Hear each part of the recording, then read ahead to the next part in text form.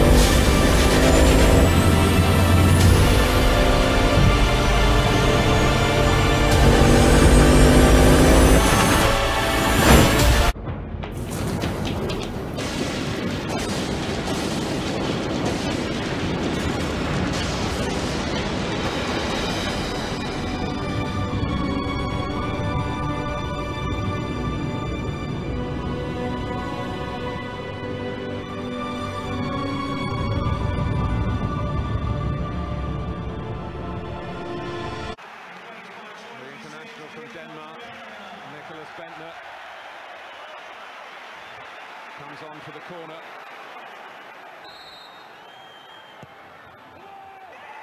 Bendtner! What an arrival for him! Arsenal lead again.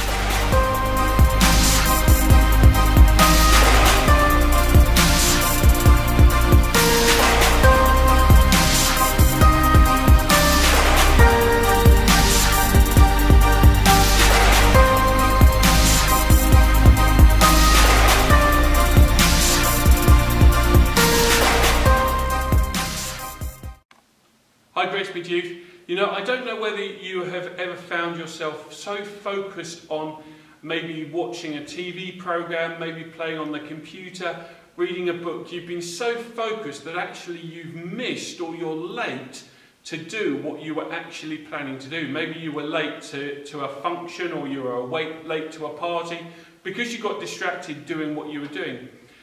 In Romans 13, Paul is talking about how it's so important for us to wake up and not be distracted by the, all the day to day stuff that we do, all the day to day distractions, and we take our eyes off God. He says, Wake up! Don't just get on with your life, don't just do all of the everyday stuff, but you know, focus on God. See that what He is doing because God is always at work. And you in your generation need to be aware that God is at work in you. And don't just be distracted by everything that's going on around you.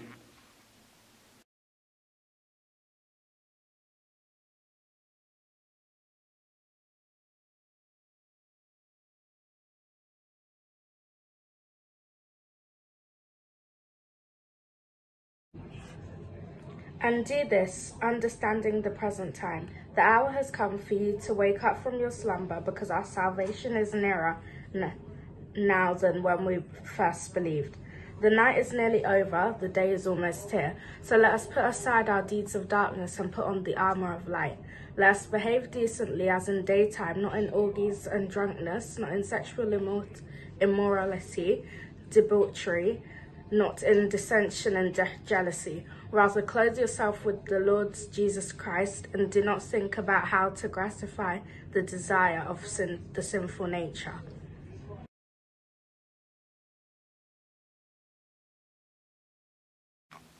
So, how are you going to live your life? You know, if our life was represented by this rope, this rope goes on and on and on and on and on and on and on and on.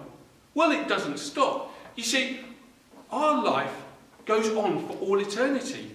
Maybe not on this world, but the thing is, is that for many, many people, we only focus on the little bit, on the little bit of life where we are alive on this earth. The rest is determined and goes on for all eternity. But we only focus on making sure that we have fun, we make sure we try and work hard so we have a good job, maybe a flash car like the Bugatti, maybe we have a big house, you know, maybe we have some great holidays, maybe a cruise when we retire. And all of our living, all of our focus, all of our attention is making sure that the short period we are on this earth is lived to the max with no thought of all the rest of eternity. Okay? For you and I, we've got a choice. And Paul's saying in Romans 13, wake up! Wake up! Don't you realise that time is short? You know, God is already there crafting and preparing eternity for us, and time is short. We've got to live the short period of time we have on this earth on purpose. And he's saying the important way we need to live it is to love others, to be able to share the love of God in the way that we act, in the way that we in the way that we live our lives, in the way that we care for others, in the way that we behave and we teach. And we and so he's saying, focus on the whole life of the string, not just the short period. Make sure you're living right with God so you can be confident that all eternity you are going to be in heaven.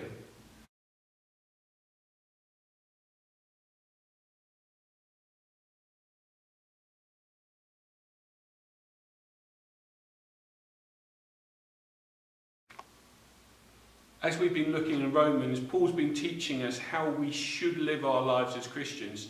You know, we will make mistakes and there will be times when we're tempted to live as the world does.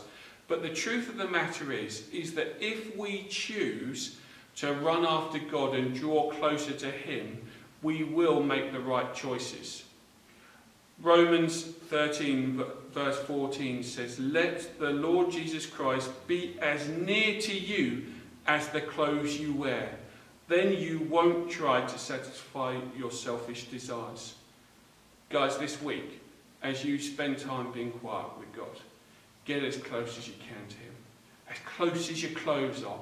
The close so that you know that God is with you and you make the right choices in the attitudes and the decisions you make. Have a great week. God bless.